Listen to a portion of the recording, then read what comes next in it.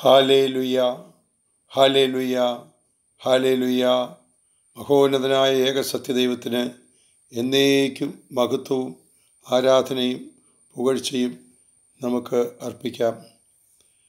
ഹാലേ ലുയ്യ ദൈവത്തിന് സ്തുതി. ഗ്ലോബൽ കാത്തലിക് പ്രയർ ലൈൻ വഴി ഇമ്മാനുവൽ സത്യാനന്ദ ഞാൻ സത്യാനന്ദ എന്ന ഞാൻ നിങ്ങളുമായി കർത്താവിന്റെ വചനം പങ്കുവയ്ക്കുന്നത് സത് ഈ സുവിശേഷത്തിന് സാക്ഷിയാകുവാൻ ദൈവം എന്നെ ഏൽപ്പിച്ചിരിക്കുന്ന ഒരു ശുശ്രൂഷയാണ് ഇത് എന്ന് ഉള്ള ബോധ്യത്തോടെയാണ് ഞാൻ ചെയ്യുന്നത്. കാരണം പരിശുദ്ധാത്മാവ് നടത്തുന്ന വഴിയിൽ സത്യത്തിന്റെ ആത്മാവ് വചനത്തിന്റെ ആത്മാവ് വെളിപ്പെടുത്തി തരുന്ന ഉണ്മകളാണ് ഉണ്മയാണ് ആത്മദർശനമാണ് സത്യദർശനമാണ് സുവിശേഷത്തെ സംബന്ധിച്ച് സർവ സർവലോകത്തിനുമുള്ള സദ്വാർത്തയായി സ്വർഗത്തിൽ നിന്നും ദൂതന്മാർ ആലപിച്ച് വെളിപ്പെടുത്തിയതെങ്കിൽ അത് ലോകസ്ഥാപനത്തിന് മുമ്പേ ഹാലലുയ്യ സ്തോത്രം മനുഷ്യർക്കായി നിശ്ചയിച്ച ജ്ഞാനത്തിന്റെ വഴിയുമാണല്ലോ. പ്രിയപ്പെട്ട ഗ്ലോബൽ കാത്തലിക് പ്രെയർ ലൈനിലൂടെ എന്നെ ശ്രമിക്കുന്ന എല്ലാ പ്രേക്ഷകരെയും ദൈവസന്നിധിയിൽ സമർപ്പിക്കുകയാണ്. കർത്താവ് നമ്മെ ധാരാളമായി അനുഗ്രഹിക്കട്ടെ.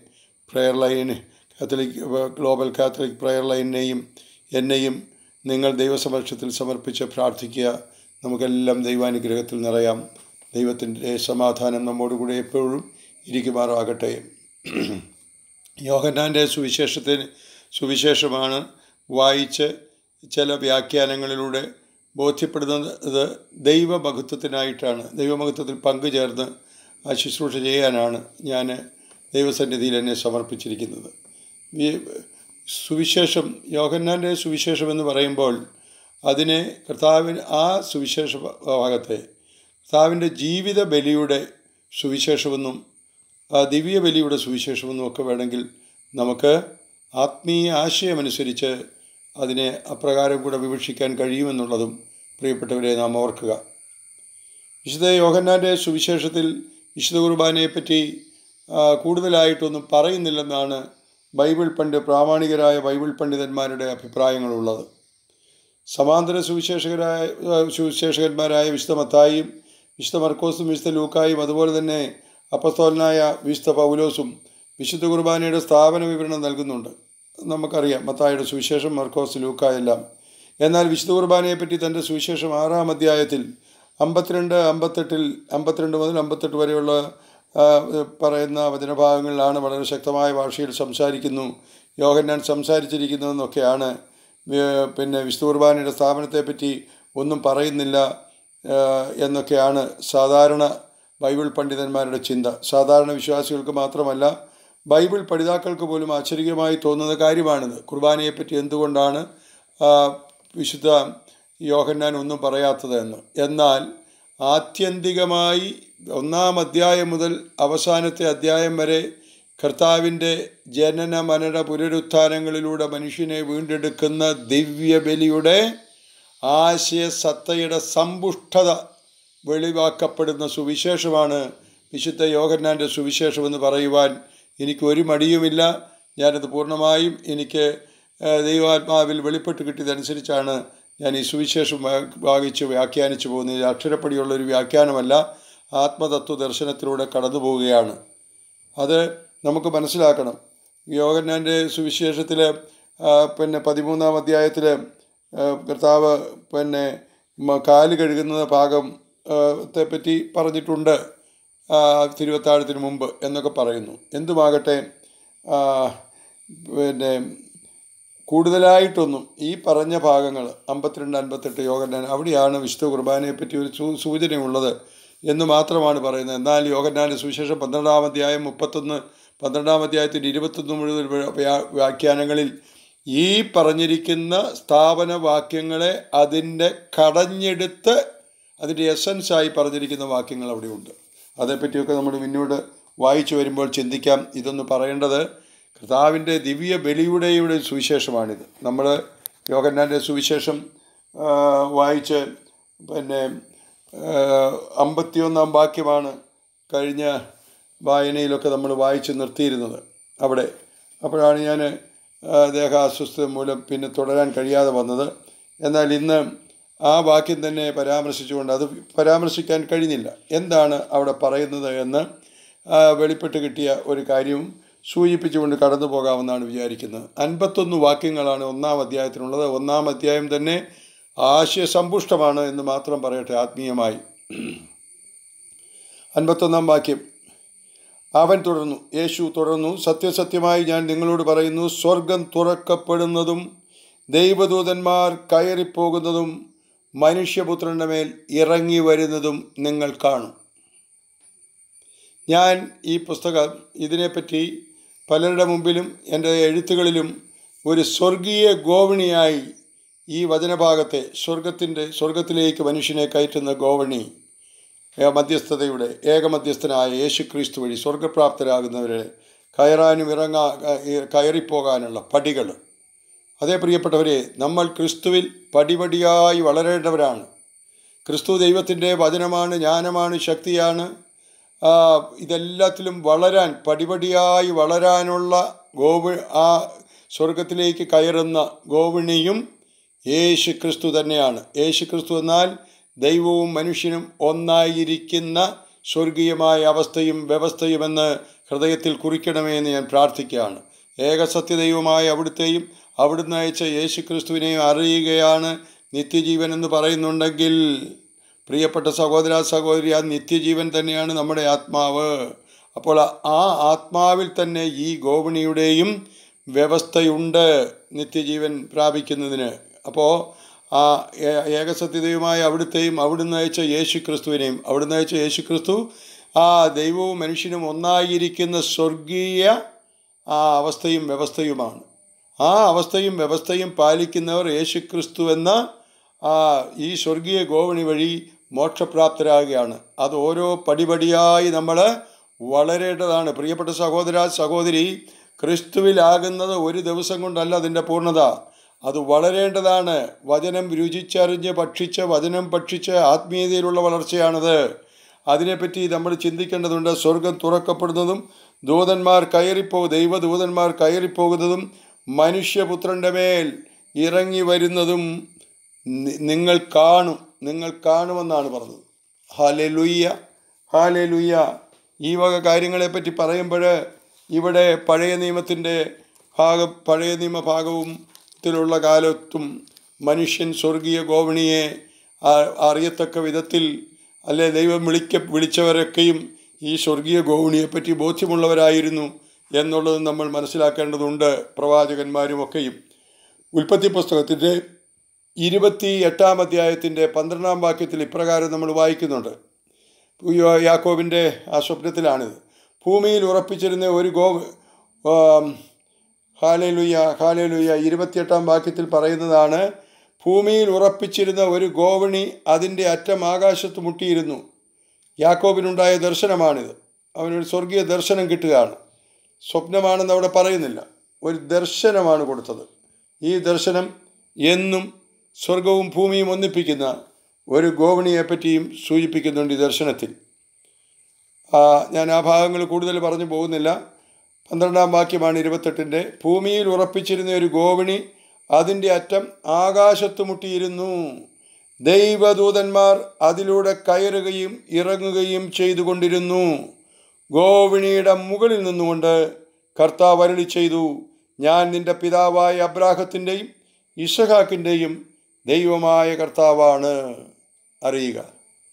ഗോവിണിയുടെ മുകളിൽ നിന്നുകൊണ്ട് ആ ഗോവിണിയുടെ മുകളിൽ അബ്രാഹത്തിന്റെയും ഇഷാഖിന്റെയും യാക്കോവിന്റെയും ആ ദൈവമായ അത്യുന്നതനായ ദൈവത്തിൽ വിലയം പ്രാപിക്കുവാൻ മനുഷ്യൻ ഈ ഗോവണി വഴി ഈ ഗോവണിയെ അറിയേണ്ടതുണ്ട്.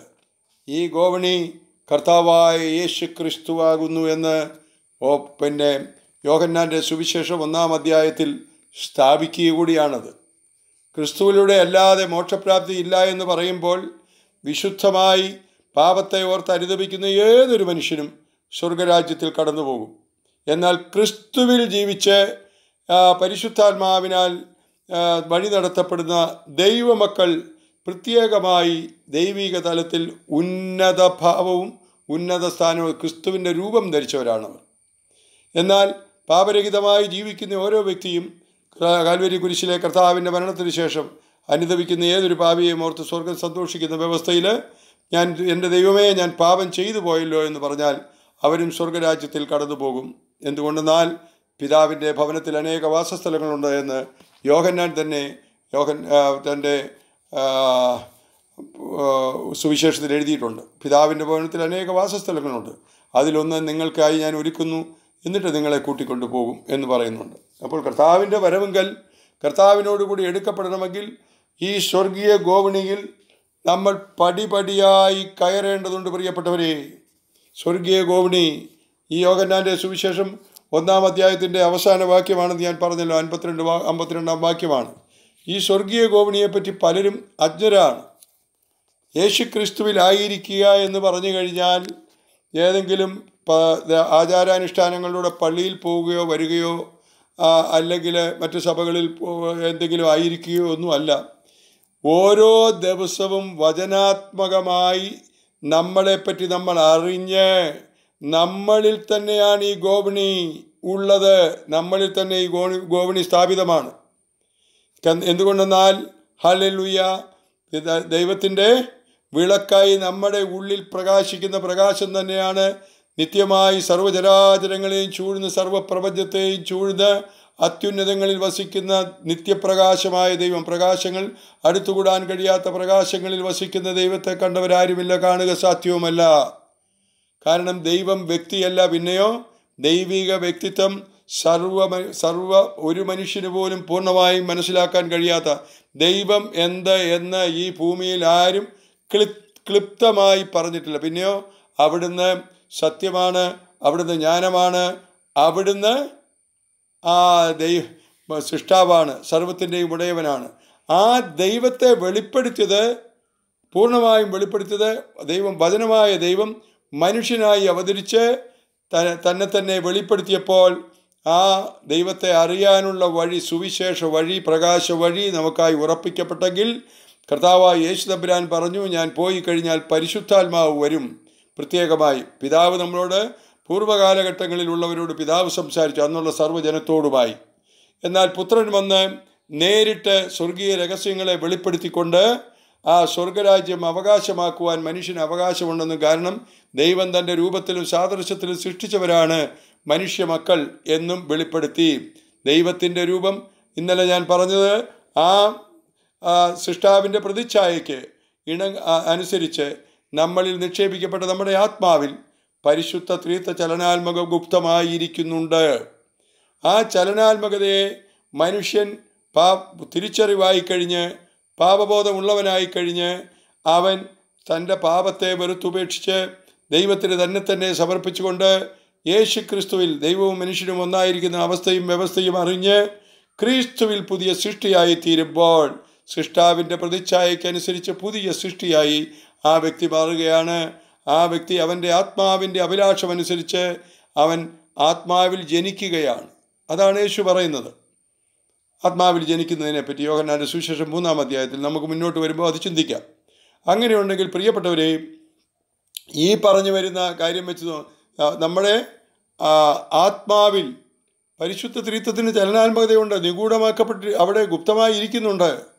ഒരു മനുഷ്യൻ പാപബോധമുണ്ടായി പശ്ചാത്തപിച്ച് കഴിയുമ്പോൾ പരിശുദ്ധ ത്രീത്വത്തിന്റെ ചലനാത്മകത തന്നെ നമ്മുടെ ആത്മാവിന്റെ വെളിച്ചത്തിലേക്ക് തിരിഞ്ഞ് ജഡപാപങ്ങളെ ഉപേക്ഷിച്ച് ആ അന്ധകാരാവസ്ഥയെ നീക്കി അനുദപിക്കുന്ന വ്യക്തിയിലേക്ക് നമ്മുടെ ഉള്ളിൽ തന്നെയുള്ള ആത്മാവിൽ ചലനാത്മകമായിരിക്കുന്ന പരിശുദ്ധ ത്രീത്വത്തിന്റെ ചലനാത്മകത വ്യക്തിതലത്തിലേക്ക് നമ്മുടെ വ്യക്തിത്വത്തിലേക്ക് കടക്കുകയും ആ വ്യക്തി ഏക ആത്മാവായി തീർന്നുകൊണ്ട് പരിശുദ്ധ ത്രീത്വ ചലനാത്മകതയിൽ ആന്തോളനം ചെയ്യുന്നു എന്ന് ഞാൻ പറയും.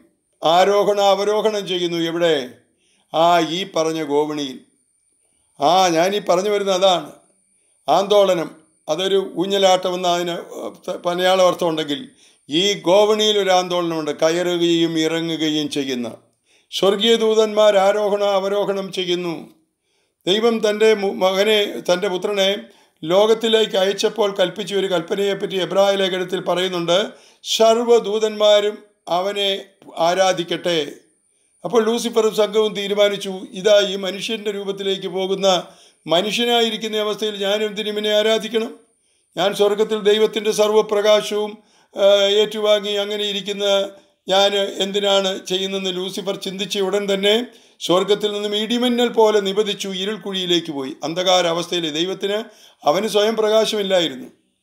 പ്രകാശമായ ദൈവത്തിൽ നിന്നും ഏറ്റുവാങ്ങിയ പ്രകാശത്തിലാണ് ലൂസിഫറും സംഘവും പ്രകാശിച്ചിരുന്നെങ്കിൽ ആ പ്രകാശത്തിനെതിരെ ചിന്തിച്ച നിമിഷം തന്നെ അവൻ നിപതിച്ചുപോയി അവൻ സ്വർഗം കണ്ടവനായിരുന്നു ദൈവത്തിന്റെ മഹത്വം കണ്ടവനാണ്. അവൻ അഹങ്കാരത്താൽ ദൈവത്തിന് എതിരെ പ്രകാശത്തിനെതിരെ ചിന്തിച്ചപ്പോൾ അവൻ അന്ധകാരമായി ഇടിമിന്നൽ പോലെ നിപതിച്ചു. പ്രിയപ്പെട്ട സഹോദര സഹോദരി ആ നിബന്ധനത്തിൽ പെടാതെ നമ്മളും വീഴ്ചയില്ലാതെ സൂക്ഷിക്കേണ്ടവരാണ് എന്ന് പ്രത്യേകമായി ഞാൻ എടുത്തു പറയട്ടെ. ഹാളെ ലുയ്യ സഹോദര സഹോദരി ഈ വീഴ്ച പിന്നെ അന്നുണ്ടായെങ്കിൽ ഇന്ന് ആരെ ഈ ഇരുൾക്കുഴിയിലേക്ക് വീഴ്ത്തണമെന്ന് വിചാരിച്ച് എപ്പോഴും സാത്താൻ നിരന്തരം അലറിക്കൊണ്ട് നടക്കുകയാണെന്ന് പത്രോസ് പറഞ്ഞിട്ടുണ്ട്. ഉണ്ട്. കർത്താവായ യേശു ക്രിസ്തു അവനെ അന്തിമ എല്ലാം കഴിഞ്ഞിട്ട് ഇരുൾ അവന് അവനിപ്പോൾ വിധിക്കപ്പെട്ട് കിടക്കുകയാണ്. നരകാഗ്നിക്കായി വിധിക്കപ്പെട്ടവനാണ് സാത്താന്യ ശക്തികൾ അത് അതും അതിന്റെ ശക്തിയോടുകൂടെ അഗ്നി തടാകത്തിലേക്ക് എറിയപ്പെടുന്നത് എല്ലാറ്റിന്റെയും അവസാനമേ ഉള്ളൂ. കാരണം നിശ്ചയിച്ച കാലങ്ങൾ എല്ലാത്തിനും ഉണ്ടല്ലോ. ഞാൻ അതിനെപ്പറ്റി ഇപ്പോൾ കൂടുതൽ പറയുന്നില്ല. എന്നാൽ ഈ സ്വറു പിന്നെ ദൂതന്മാർ കയറുകയും ഇറങ്ങുകയും ചെയ്യുന്ന ഈ സ്വർഗീയ ഗോവണി വഴി നമുക്ക് സ്വർഗത്തിലെത്താൻ ആ വ്യവസ്ഥ ചെയ്യപ്പെട്ട് കഴിഞ്ഞു. കർത്താവിന്റെ മനുഷ്യാവതാരത്തോടു കൂടെ സർവ മനുഷ്യരുടെയും പാപത്തെ കാൽവരി കുരിശിൽ എടുത്ത് അവിടുന്ന് ശുദ്ധീകരിച്ച് മരിച്ച് അടക്കപ്പെട്ട് ഉയർത്തെഴുന്നേറ്റ് ഇന്ന ഇന്ന ഇന്ന് സ്വർഗത്തിനും ഭൂമിക്കും ഇടയിൽ ഒരു സ്വർഗീയ ഗോവിണിയായി വർത്തിക്കുകയാണ് നമ്മുടെ കർത്താവായ യേശു ക്രിസ്തു ഹാലെ ലുയ ആ സ്വർഗീയ ഗോവിണി ക്രിസ്തുവാകുന്നു. ഹല്ലേ ലുയ ആ ഗോവിണി വഴിയല്ലാതെ സ്വർഗപ്രാപ്തി ആർക്കും സാധ്യമല്ല. നമ്മൾ അറിയുക എന്നാൽ ഈ സ്വർഗീയ ഗോവിണിയെ ഉള്ളിൽ ധരിക്കുവാൻ ഉള്ളിൽ ഉള്ളതിനെ എന്റെ വ്യക്തിത്വത്തിൽ ധരിക്കുവാൻ നിങ്ങളുടെ വ്യക്തിത്വത്തിൽ ധരിക്കുവാൻ വിളിക്കപ്പെട്ടവരാണ് സർവ മനുഷ്യരും യേശു ക്രിസ്തുവിനെ നാഥനും രക്ഷകനുമായി സ്വീകരിച്ച് വിശുദ്ധിയോടെ ഒരു ജീവിക്കുന്ന ഒരു വ്യക്തി തന്റെ ഉള്ളത്തിൽ തന്നെ ഈ ഗോവണിയുടെ സജീവതയെ അറിയുന്നു. ഈ സ്വർഗീയ ഗോണി ഗോവണിയിലൂടെ പടികൾ ചവിട്ടി ഓരോ ദിനവും പുതിയ ഈ ആത്മീയതയുടെ ക്രിസ്തുവിലുള്ള ജീവിതത്തിന്റെ വളർച്ചയിൽ പുരോഗമിക്കേണ്ടവരാണ്. താഴോട്ടിറങ്ങേണ്ടവരല്ല അപ്പോൾ ആ ദൂതന്മാർ ആരോഹണ അവരോഹണം ചെയ്തുകൊണ്ടിരിക്കുന്നു എന്ന് പറഞ്ഞു കഴിഞ്ഞാൽ സർവ സ്വർഗീയ ദൂതന്മാരും അവനെ ഭൂമിയിലും ദൈവമായി ആരാധിക്കണമെന്ന് പറഞ്ഞെങ്കിൽ ഹല്ലേ ലുയ്യ അത് ഇന്നും നടപ്പാക്കുന്ന സ്വർഗീയ ദൂതന്മാരുണ്ട് യേശു അവിടെ മരുഭൂമിയിൽ പരീക്ഷിക്കപ്പെടുമ്പോഴും അവനെ അവിടുത്തെ സന്നിധിയിലെത്തി അവിടുത്തെ ആശ്വസിപ്പിച്ച ദൂതന്മാരെ പറ്റിയും നമ്മൾ വായിക്കുന്നുണ്ടല്ലോ. അപ്പോൾ ആജ്ഞാനുവർത്തിയായി നമ്മൾക്കറിയത്തില്ലാതെ നമുക്ക് ചുറ്റിനും രക്ഷിക്കപ്പെടാനുള്ളവർക്ക് കാവൽ തുണിയുമായി ദൂതന്മാരുണ്ടെങ്കിൽ യേശു ക്രിസ്തുവിന് ചുറ്റും പിന്നെ വ്യൂഹങ്ങൾ എപ്പോഴും അവിടുത്തെ ആജ്ഞ സ്വീകരിക്കുവാൻ തക്ക വിധത്തിൽ അദൃശ്യരായി ഈ ഭൂമിയിൽ കർത്താവ് ഉള്ളപ്പോഴും ഉണ്ടായിരുന്നു. എന്നാൽ മനുഷ്യാവസ്ഥയിൽ അവിടുന്ന് തന്നെ തന്നെ പിതാവുമായുള്ള സമാനതയെ മാറ്റിവെച്ചിട്ട് മനുഷ്യന് വേണ്ടി പൂർണ മനുഷ്യനായി തീരുകയാണ് ചെയ്തത്. അവിടെയാണ് ദൈവസ്നേഹം. ആ ദൈവ ആ കർത്താവിനെ ആ യേശുവിനെ കർത്താവും കൃത്യവുമാക്കി ഉയർത്തിയെന്ന് അപ്പസ്തോല പ്രവൃത്തി രണ്ടാം അധ്യായം മുപ്പത്തിയാറാം വാക്യത്തിൽ നമ്മൾ വായിക്കുന്നെങ്കിൽ ഇന്ന് ഉത്തിതനായ മെഷിക പ്രിയ സഹോദര സഹോദരി ഇത് കേട്ടുകൊണ്ടിരിക്കുന്ന നിങ്ങളുടെയും എന്റെയും ആത്മതത്വത്തിൽ നമ്മുടെ പ്രകാശത്തിന്റെ അതായത് ദൈവത്തിന്റെ വിളക്കായ നമ്മുടെ ആത്മാവിൽ hallelujah the human spirit is the lamb of the Lord ആ വ്യവസ്ഥയിൽ നമ്മുടെ ആത്മാവാകുന്ന ആ പ്രകാശത്തിൽ തന്നെ ഈ ഗോവിണി ഈ സ്വർഗീയ ഗോവിണി ഉറപ്പിച്ചിട്ടുണ്ട്.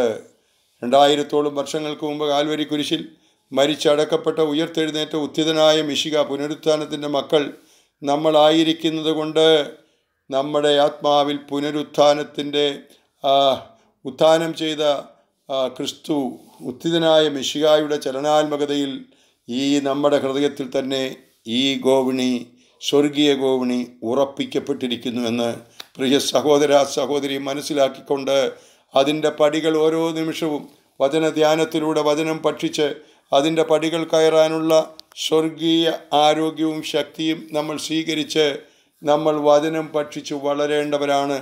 വചനാനുസൃത ജീവിക്കുന്ന വചനം പക്ഷിച്ച് വളരുന്നവർ വചനാനുസരണം ജീവിക്കും. അപ്രകാരം ജീവിക്കുന്നവർ കർത്താവിന്റെ വരവെങ്കൽ അവിടുത്തെ പോലെ തേജരൂപികളായി രൂപാന്തരപ്പെട്ട് വാനമേഘങ്ങളിൽ സംവഹിക്കപ്പെടും. ഹാലേ ലുയ്യ ഹാലേ ലുയ്യ ഹാലേ ലുയ്യ അതിനായി ദൈവമക്കളെ നമുക്കൊരുങ്ങാം.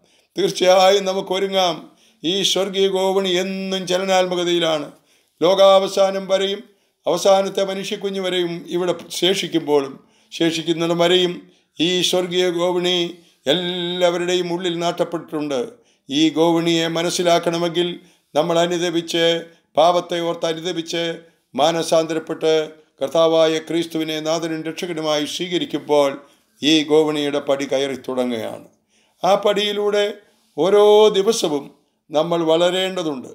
പടികൾ കടന്നു പോകേണ്ടതുണ്ട് ആ സ്വർഗീയദൂതന്മാർ കയറുകയും ഇറങ്ങുകയും ചെയ്തുകൊണ്ട് ഇവിടെ നിൽക്കുമ്പോൾ ഉത്തിതനായ മിശിക നമ്മുടെ ഉള്ളത്തിൽ നമ്മുടെ ആത്മാവിൽ ആ സജീവ ചലനാത്മകതയായിരിക്കുമ്പോൾ ആ ചലനാത്മകതയിൽ ഹല്ലേലൂയ ഉറപ്പിക്കപ്പെട്ട ഈ ഗോവ ഈ സ്വർഗീയ ഗോവിണി ഇവിടെ തന്നെ ഉള്ളപ്പോൾ ആ ഗോവിണി ഹാലേലുയ്യ വലതുഭാഗത്ത് മരിച്ചടക്കപ്പെട്ട ഉയർത്തെഴുന്നേറ്റ മനുഷ്യാവസ്ഥ ഇന്ന് തേജരൂപമായി തേജസ്വരൂപിയായി മനുഷ്യമക്കളെ കാത്തുകൊണ്ട് ആദ്യത്തെ പിന്നെ ആദ്യ ഫലമായി യേശു സ്വർഗാദി സ്വർഗങ്ങൾക്ക് മുമ്പിൽ ആ മനുഷ്യാവസ്ഥ ഇന്ന് തേജരൂപമായി അവിടെ മഹത്വത്തിന്റെ വലതുഭാഗത്തുണ്ടെങ്കിൽ അത് നമുക്ക് ഇരിക്കുവാൻ നമുക്ക് ആയിത്തീരുവാനുള്ള വ്യവസ്ഥ ഉറപ്പിച്ചുകൊണ്ട് ഏകമധ്യസ്ഥനായി നമ്മുടെ കർത്താവ് നമ്മുടെ രക്ഷകൻ മനുഷ്യാവസ്ഥയെ ഇന്ന് ഇന്ന് യേശുവിന്റെ മനുഷ്യാവസ്ഥയില്ല.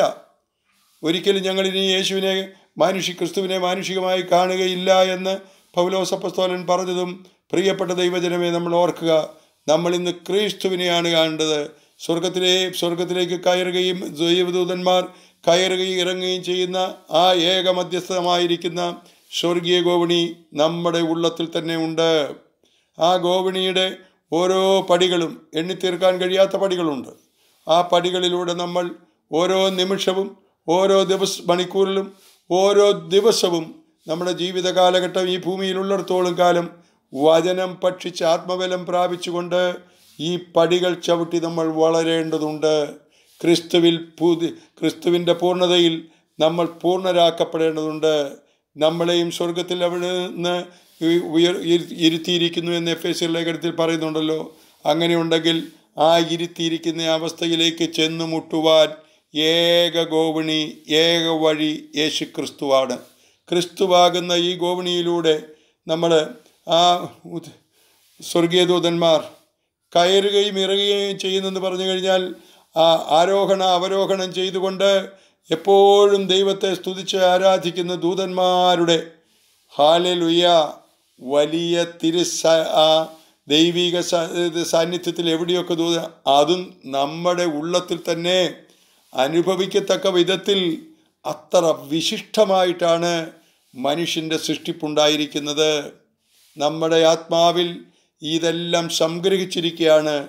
ഈ തത്വമറിഞ്ഞ് നമ്മൾ ആത്മാവിൽ ജനിക്കേണ്ടതുണ്ട്. അതുകൊണ്ടാണ് കർത്താവ് പറഞ്ഞത് സൃഷ്ടാവിന്റെ പ്രതിച്ഛായക്കനുസരിച്ച് വചനമാണത്. ആ പുതിയ മനുഷ്യനെ ധരിക്കണം.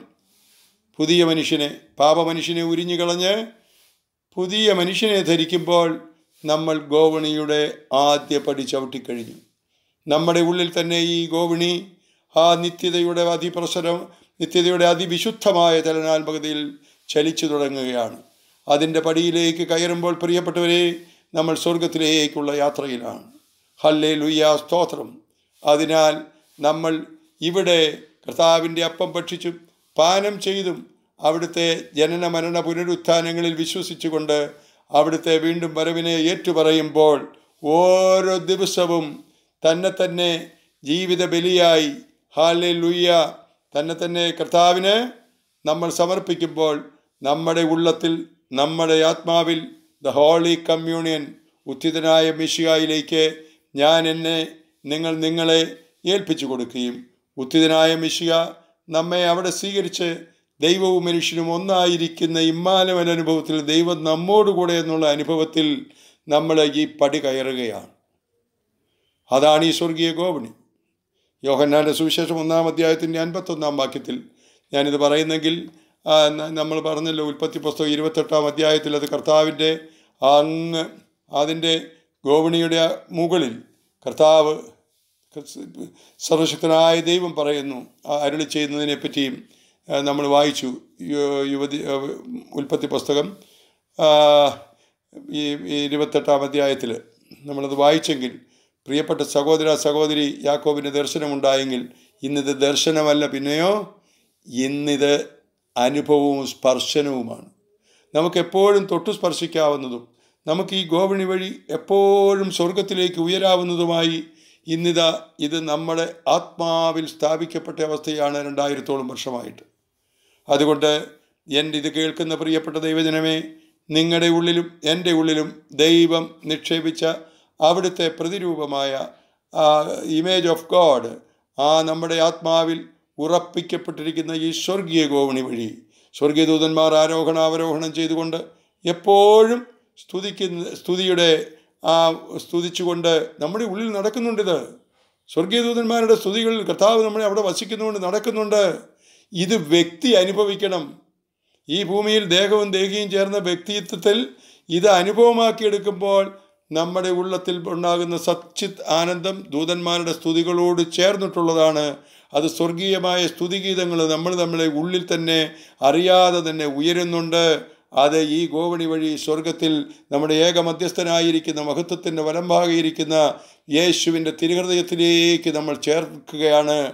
അങ്ങനെ നമ്മൾ ദൈവവുമായി ഒന്നാകുകയാണ്. പ്രിയപ്പെട്ട സഹോദര സഹോദരി നമ്മൾ ഞാനീ പറഞ്ഞു വരുന്ന കാര്യങ്ങളെ നിങ്ങൾ വേണ്ട വിധത്തിൽ മനസ്സിലാക്കുകയും ഈ സ്വർഗീയ ഗോവിഡി വഴി ഓരോ നിമിഷവും ഉന്നതങ്ങളിലേക്ക് കടക്കുവാൻ ലോകത്തിനു വേണ്ടി ജീവിക്കാതെ ഈ ഗോവിണിയിലൂടെ സ്വർഗീയ ജീവിതത്തിന് ഈ ലോക ജീവിതം നമുക്ക് ആവശ്യമാണ് എന്നാൽ ഓരോ നിമിഷവും ഈ ഗോവിണിയുടെ പടി ചവിട്ടി കയറിക്കൊണ്ടായിരിക്കണം നമ്മൾ ലോകത്തെയും ലോക ജീവിതത്തെയും കൈകാര്യം ചെയ്യേണ്ടത്. ദൈവം നമ്മെ അനുഗ്രഹിക്കട്ടെ. കർത്താവിന്റെ മേശയിൽ നമ്മൾ പങ്കെടുക്കുമ്പോൾ ഈ സ്വർഗീയ ഗോവിണിയിലൂടെ നമ്മൾ ഇവിടെ ഉത്തിതനായ മെഷികായിൽ നമ്മൾ നമ്മളെ തന്നെ ഏൽപ്പിച്ചു കൊടുക്കുമ്പോൾ അത്യുന്നതങ്ങളിൽ വലം ഭാഗയിരിക്കുന്ന യേശു ക്രിസ്തുവിന്റെ തിരുഹൃദയത്തിൽ നമ്മൾ ഒന്നായി ചേരുകയാണ്. അതിനായി നമുക്ക് കർത്താവിന്റെ തിരുഹൃദയത്തോട് ചേർന്നിരിക്കാം. ഈ സ്വർഗീയ ഗോവണിയിലൂടെ നമുക്ക് പടികൾ ചവിട്ടി ചവിട്ടി കയറാം. നമുക്ക് സ്വർഗീയ മക്കളായി ഈ ഭൂമിയിൽ ആനന്ദം ആസ് ആസ്വദിച്ച് അനുഭവിക്കുന്നെങ്കിൽ നമ്മൾ നിത്യതയിൽ അത് എന്നേക്കും അനുഭവിക്കുന്ന ദൈവമക്കളെന്നുള്ള പ്രത്യാശയോടെ ഈ ഗോവണിയുടെ പടികൾ നമുക്ക് ചവിട്ടി നമുക്ക് ക്രിസ്തുവിൽ വളരാം. ക്രിസ്തു നമ്മോട് കൂടെ ആമേൻ ആമേൻ ആമേൻ.